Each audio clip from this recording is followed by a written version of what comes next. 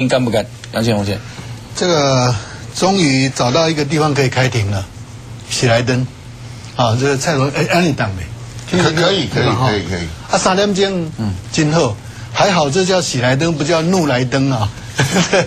也其实法院就是不喜欢嘛。我讲的意思就是到法庭去哦，这个如果有他这个病哦，啊都较严重嘛。啊，去喜来登中华医啊，气温真好啊，够好米给人家。